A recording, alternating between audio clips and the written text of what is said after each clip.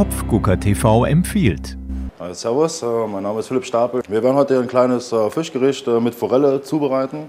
Wir machen einfach einen lauwarmen Bratkartoffelsalat ähm, mit einer gebratenen Forelle, ein bisschen marinierten Wildkräutersalat dazu. Dazu gibt es einen leichten Meerrettich-Sauerrahm. Ist relativ schnell leicht zuzubereiten, ähm, was ganz fein ist auch für zu Hause zum Nachkochen. Für unser Gericht brauchen wir ähm, Forellenfilets, die sind schon vorbereitet, küchenfertig, entgrätet. Zudem brauchen wir junge Kartoffeln, die habe ich mit Schale gekocht, in einem äh, Sud aus äh, Petersilie, ein bisschen Kümmel, Salz, um ein bisschen die Aromen zu unterstützen, das Erdige. Ich habe äh, einen Tafelmeerrettich, Sauerrahm, dann eine ähm, Wildkräutermischung, in dem ist äh, roter Senfsalat, Misuna, Babyspinat enthalten, ein paar frische Kräuter wie Schnittlauch, Petersilie und Dill. Zudem benötigen wir Schalotten, äh, Speck in Scheiben, ein bisschen Butter und vielleicht noch ein bisschen Thymian zum Braten. Die ersten Arbeitsschritte ähm, beginne ich damit, die Schalotten zu schälen. Ähm, fangen wir hinten an der Wurzel an. Wichtig ist ähm, beim Schälen einer Schalotte oder auch allgemein beim Zwiebelschälen, dass man äh, nicht zu viel von der, von der Wurzel wegschneidet, sodass die ganzen Schichten von der Schalotte noch zusammengehalten werden. Somit hat man es nachher einfacher mit dem, Schäl, äh, mit dem Schneiden. Schneiden wir schnell in äh, feine Würfel. Jetzt halbiere ich die Schalotte und schneide es erstmal fächerartig ein. Dann mache ich einen Schnitt nochmal hier zwischen und schneide es dann einfach in feine Würfel hinunter. Das reicht uns auch schon. Dann äh, schneide ich den Speck. So, dann äh, fangen wir mit den Kartoffeln, gehen wir mit den Kartoffeln weiter. Wie gesagt, die Kartoffeln habe ich äh, mit Schale gekocht, einem, mit Kümmel, mit Petersilie. Ähm, die Schale ist relativ fein, die können wir ruhig an der Kartoffel dran lassen. Ähm, das schadet dem Ganzen nicht. Die schneiden wir circa 7 äh, mm schöne Stücken, Scheiben. So, von der Menge ist das ausreichend für eine Portion. Wichtig ist, dass man sich bei den Bratkartoffeln wirklich ein bisschen mehr Zeit lässt. Dadurch, dass wir die nachher noch ein bisschen marinieren, ist es schön, wirklich wichtig, dass sie schön knusprig gebraten sind, ähm, damit wir ein bisschen auch äh, ein ganz feines Essgefühl nachher haben. Für die Bratkartoffeln habe ich hier schon eine Pfanne aufgestellt, um ein bisschen eine gewisse Grundtemperatur schon reinzubekommen. Wir benutzen relativ einfaches Pflanzenöl. Beginne zuerst ähm, Stück für Stück die Kartoffeln anzubraten. Wichtig ist, dass man darauf achtet, dass äh, nicht äh, die Kartoffeln aneinander kleben, sodass man ein gleichmäßiges, gleichmäßiges Bratergebnis erhält. Kann man sich, äh, umso mehr Sorgfalt man vorher reinsteckt, umso besser ist nachher das Ergebnis der Bratkartoffeln. Ja, wichtig ist auch, ähm, nicht zu, zu viel äh, Kartoffeln oder zu viel Masse einfach direkt in die Pfanne zu geben, ähm, das, Brat, es, es leidet, das Bratergebnis leidet einfach immer drunter. Das lassen wir jetzt wirklich ganz entspannt, ganz sanft anbraten, damit sich eine schöne Kruste bildet. Äh, wenn Sie das Gefühl haben, dass die Bratkartoffeln anhängen, nicht, ver, äh, nicht ver, verzagen oder anfangen mit dem Löffel oder mit, der, mit irgendeinem äh, Gerät da drum rumzustochern. Die Kartoffeln bilden von ganz alleine eine feine Kruste, die sich nachher von ganz alleine löst. Für den äh, Meerrettich-Sauerrahm benutzen wir wie gesagt den äh, Tafelmeerrettich und äh, den Sauerrahm. Salz, Pfeffer, ich lasse das alles relativ ähm, einfach gehalten. Man könnte jetzt natürlich noch anfangen, die ganze Sache mit ein bisschen Zitronenabrieb abzuschmecken ähm, oder vielleicht auch separat noch fein geschnittene Kräuter mit in diese Soße reinzumachen. Ähm, brauchen wir hier nicht. Der Sauerrahm gibt von Natur aus eine relativ angenehme Säure mit. Ein bisschen was von dem Meerrettich dazu. So. Das Ganze würzen wir mit ein bisschen Pfeffer und etwas Salz. Das wäre es auch schon gewesen. Ganz einfach verrühren. Ja, halt Meerrettich und Fisch. Ich denke mal, das ist äh, relativ klassisch. Kennt jeder. Ja, und durch den Sauerrahm bekommt das Ganze eine schöne frische Note, was dann gut harmoniert mit den Bratkartoffeln zusammen mit dem Salat. Das ist eine äh, feine Sache. Meerrettich-Sauerrahm ist soweit vorbereitet. Gehen wir direkt weiter ähm, und bereiten uns den Wildkräutersalat vor. Ja, für den Wildkräutersalat habe ich schon diese Mischung. Ähm, wenn man diese Mischung im, kann man schon im gut sortierten Handel finden.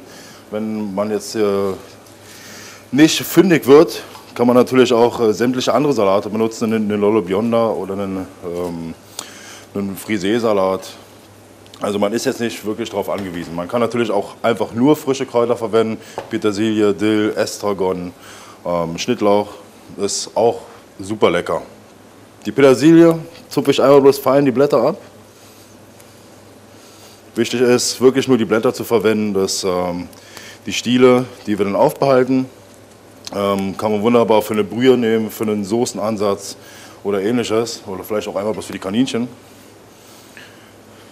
Wichtig ist wirklich die feinen Blätter, damit wir nachher einen wunderschönen Salat haben, der knackig ist und der auch äh, der im Mund ein wunderbares Essgefühl gibt.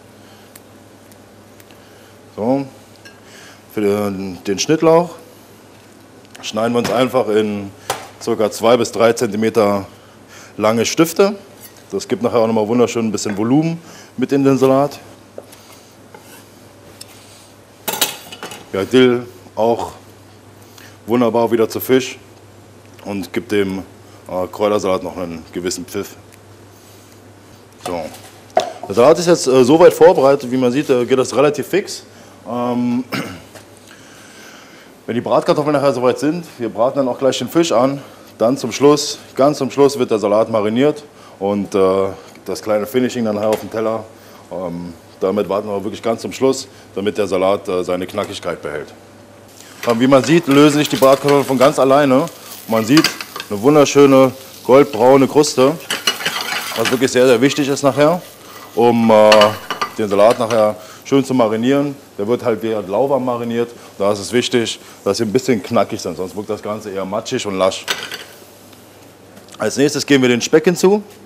Wichtig ist immer erst den Speck und danach die Zwiebeln, weil einfach diese fein geschnittenen Schalotten äh, vorher einfach verbrennen würden.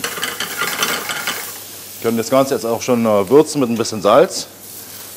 Salz entzieht dem Ganzen natürlich auch ein bisschen Wasser und ähm, sorgt natürlich dafür, dass die Bratkartoffeln nachher noch einen Ticken knuspriger werden. So, jetzt geben wir schon die Zwiebeln dazu.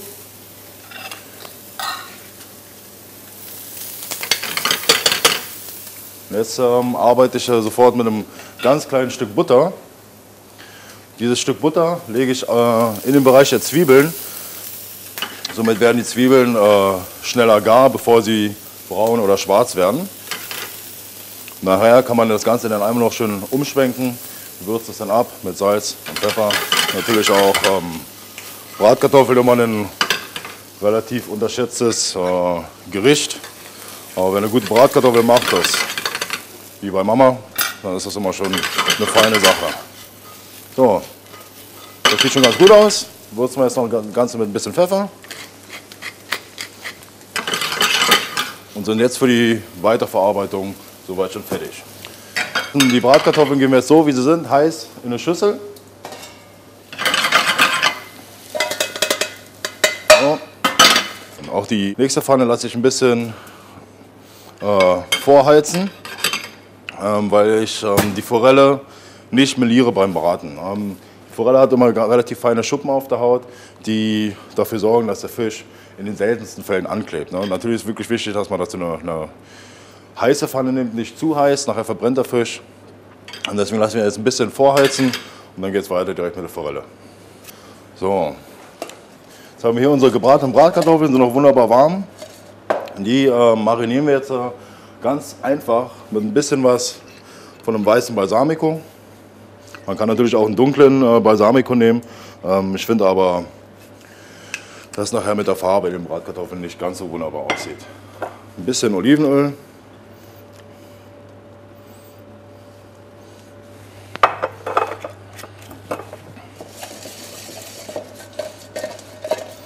Schon ist die ganze Sache äh, fertig. Man, kann, man sollte schon mal probieren, die, äh, die Bratkartoffeln noch mal probieren, den Salat. Ähm, wir haben den natürlich schon beim Braten gewürzt.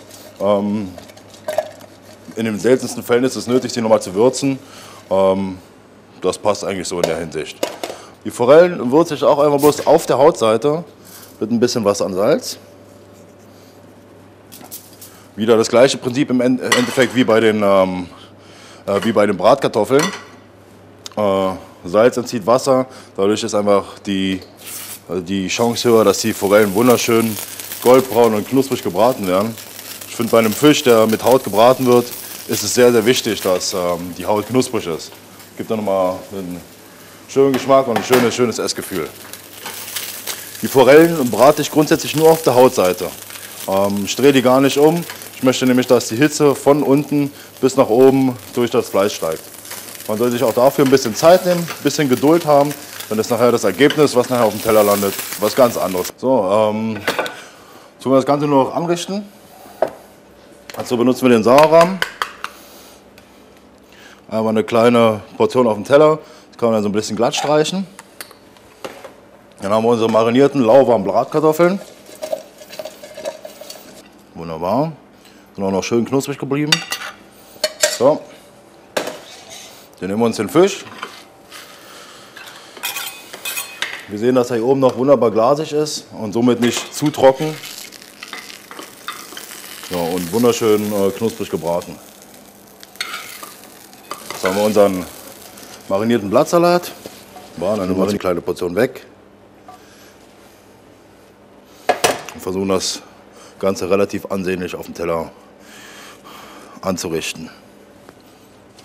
Ja, wirklich war immer mit einer gewissen Vorsicht bei dem Salaten arbeiten, damit er nicht bricht oder kaputt geht, ähm, damit er wirklich schön knackig ist. Umso mehr, äh, umso mehr Feingefühl man nachher beim Braten, des, äh, beim Marinieren des Salates benutzt, umso besser ist nachher das Ergebnis auf dem Teller. Wir machen das Ganze noch ein bisschen fertig. Ich habe hier einen, äh, einen Apfelgel, was wir aus Apfelsaft äh, herstellen.